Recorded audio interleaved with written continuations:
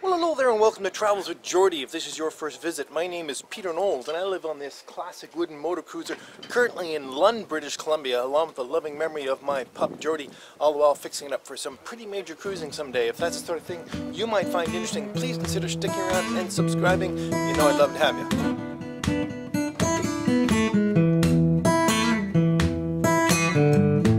Well, this really has been an amazing week for me. I mean, to get my boat, MV Geordie, up the coast, Sunshine Coast, as far as Lund and uh, and hopefully beyond is just wonderful. But more important than that, the young woman who you're about to meet is here for a week.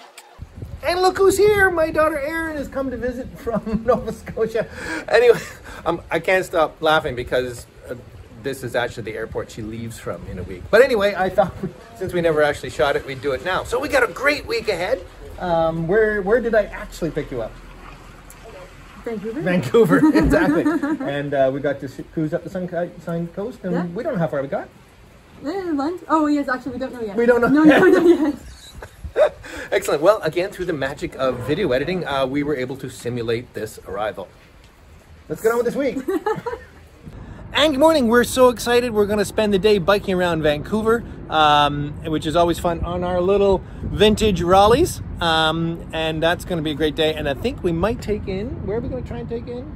Go to the aquarium. Vancouver Aquarium. Anyway, we'll take you along. Cheers.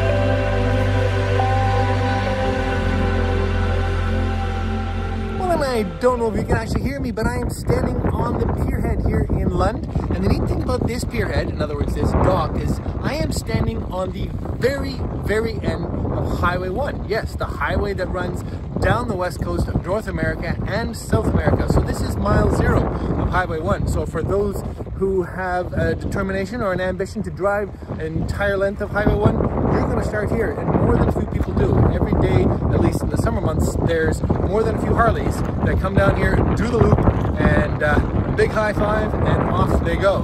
Anyway, so a windy day here in Lund. It's windy, isn't it? Yeah, it's windy. Anyway, too windy to go out, so we're gonna go for a walk today, but I just thought I'd show you uh, a little panorama. I've never actually stood here and showed you from this point in Lund. And Vijordi is tucked in over there. And uh, it doesn't look like much, but it's blowing 30 knots out there right now, and I'd rather not have any of that right now. Um, so here we go, up the hill past the old historic Hotel of Lund, uh, which is closed for the season, as well as the quite tasty pub that has a terrace there, which is kind of a shame. And uh, we'll see what we can find.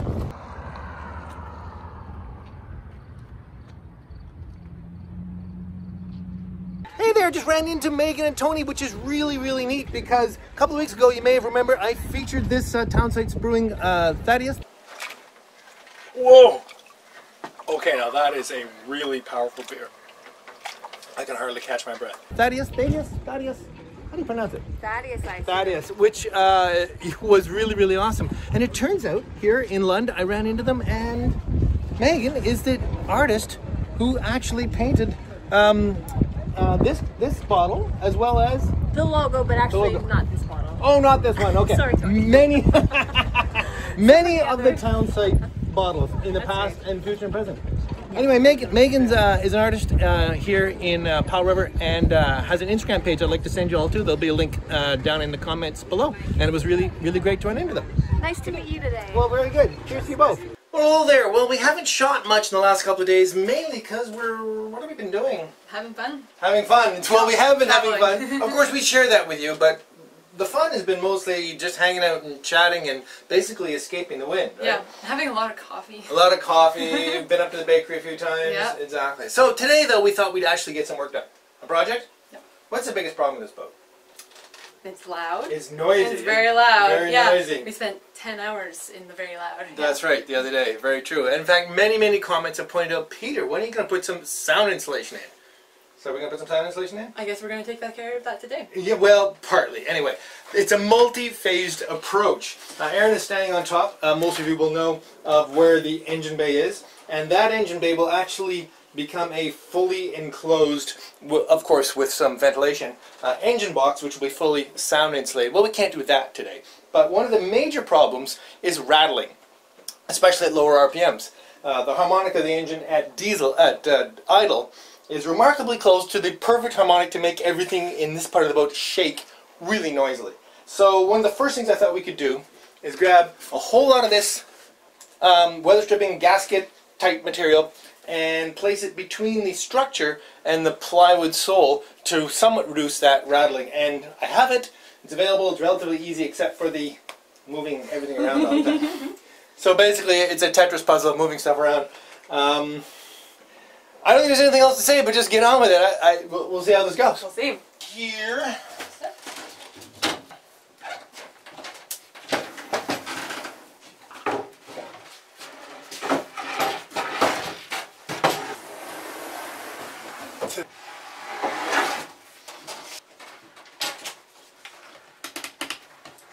Oh!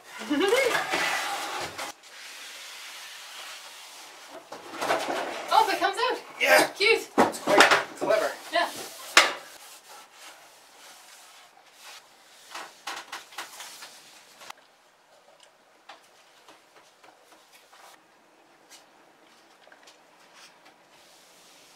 Okay. There's the notch. Can you go to there? Yep. Back against that. Now watch your fingers putting it down. Yeah. Nice. Don't lift it a little bit. Oh, well, there we go.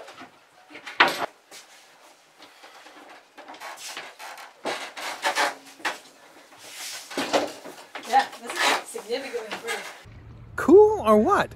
One of the things I love about Lund, but one of the things I love most about Lund is I have some wonderful friends here that I met through Lady Zephyrus and just such interesting people, which I'm going to introduce you to in a minute. In fact, some of you who've been watching for a little bit of time will have already seen Hugh. He did feature playing his cello on the foredeck of MV Zephyrus last year.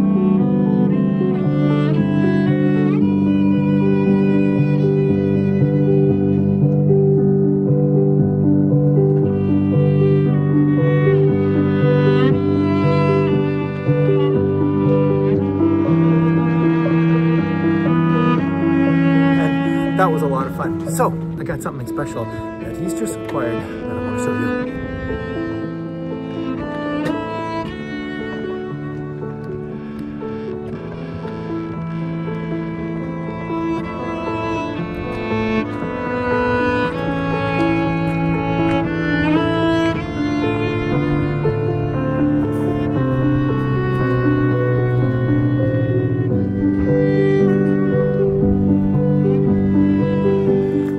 to introduce you to my very good friend Hugh Pritchard here, who uh, runs a uh, outdoor, outdoor, what do you call it? Outdoor adventure learning, outdoor, adventure education. learning, education. Obviously, a big part of it is kayaking, kayak rentals, and other sorts of. You have like zodiacs and stuff. You chase people down we with. take people out on multi-day and single-day adventures Yeah. into the fabulous beauty of Desolation Sound. All right, and right. Terracentric. Terracentric is the name of our in business. in Lund, British Columbia, which is the end of well, you know where we are now. the beginning of the road. Exactly, the the end end of of the road, depending on how you look at it. Exactly. But what we're talking about together is this. Can you see it? Hugh, what is this? So here we are. We're standing, Peter, uh, at, at the stern of the Anthony J. Waddy, which is a 34-foot uh, uh, bilge-keeled, uh, uh, uh, junk-rigged uh, schooner. Right. and this uh, this boat was uh, ostensibly built over the last 35 years but never launched and here we are we're standing at the stern of this incredible vessel which is really a time machine Yeah. you know that uh, you know it was built built over the last 30 34 years by a gentleman named Anthony J. Waddy who the boat is named after and never launched but uh, is, is, is here in our in our yard waiting to be launched where it will be you know will- the, the last of its finishing details will be completed and we hope to see it splashed in the next year Awesome. I only had to be looking at that boat and talking with you for a few minutes to realize I want to do something a little more significant with that boat. So we sat around for a little while. We shot a fair amount of footage all on the phone that I'm currently shooting this on. And I'd like to put together a bit of a little documentary for it. A little, I don't know what it's going to be called. And I don't know what I'm going to do it. But I'll let you know. And uh, if you're curious to know a little more about that boat and the very, very interesting way it's come into Hugh's hands or back into this neck of the woods, boat's never been in the water. They started it 35 years ago. Amazing story. Anyway, I'll let you know when it's ready to watch.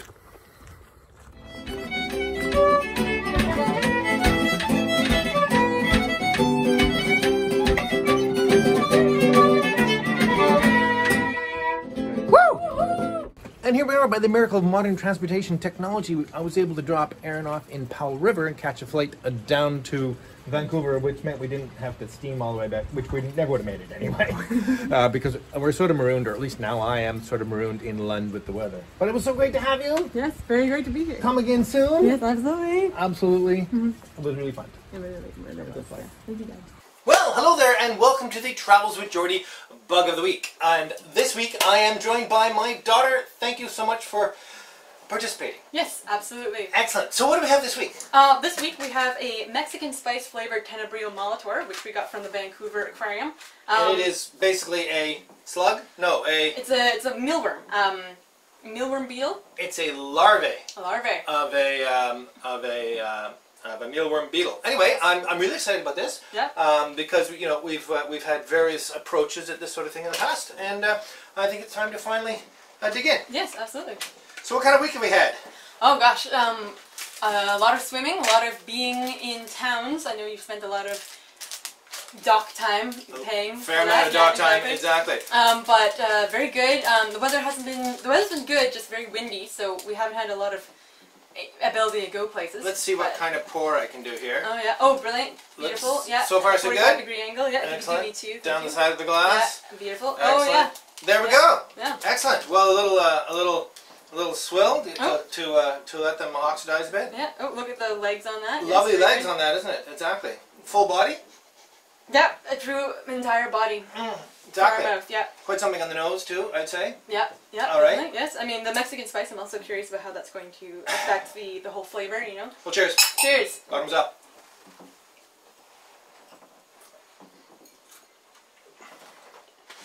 Hmm. Hmm. Um. Yeah. I, Not, I not would, bad. I, I would say just not, not just your average bug. no, really Yeah. not. Actually, I would say I'm that's kind of. I will have another. I will have another sip of this. yeah, exactly. Right after I have this sip of beer. Mm-hmm. Yeah. Excellent. Mm, not that beer means anything in the context of. No, No. exactly not. Mm. Anyway, um, absolutely fantastic, and uh, and and cheers. Yeah, All right. Well, we have a we have a little um administrative stuff to get through here. Uh, last week's winner of a Travels with Geordie T-shirt was uh, Tyson uh, Carswell. So Tyson, get a hold of me, and we'll make sure you get your Travels with Geordie uh, T-shirt. Oh, and cheers to you, Tyson. Mm, mm. And uh, so grateful. Uh, a few new patrons came aboard, quite a few actually, in the last week or so. That would include um, Motor Vessel uh, Hyperion, uh, Carl of Sweden, um, Anders Anderberg, and Philip Hilgerson. Thank you all so very much for coming aboard. Mm, and cheers. Cheers. Exactly. Mm. Exactly. Yeah. Um, hang on just a moment. All part of the process. Yeah. Still got a couple sips left. Yeah, so I have a couple of sips of that left. Yeah. Um, Yeah. okay then. Well, Erin, we need, uh, as you may know, a word of the week because I give away a T-shirt every week. So Yes. have you thought of a word of the week? I have, and it was inspired by the weather that we've been having. Right. The word of the week is wave, Wave. as in either a wave or a wave. Wave. No. Yeah, I'm out though. Oh, well, let me help you out with that. There you go. Now I'm out. Cheers. Oh, fabulous. All right, use the word wave in a comment down below and uh, you'll win a Travels with Geordie t-shirt, or if I picked you, you will. Excellent. Well, um, there we go. Cheers. Yeah. Cheers, cheers to, cheers, cheers to all that. Mm-hmm. Exactly. you know what though? They're not bad. Oh my god! That, that honestly, they're not bad. I'm gonna eat these. I mean, did you like them? No.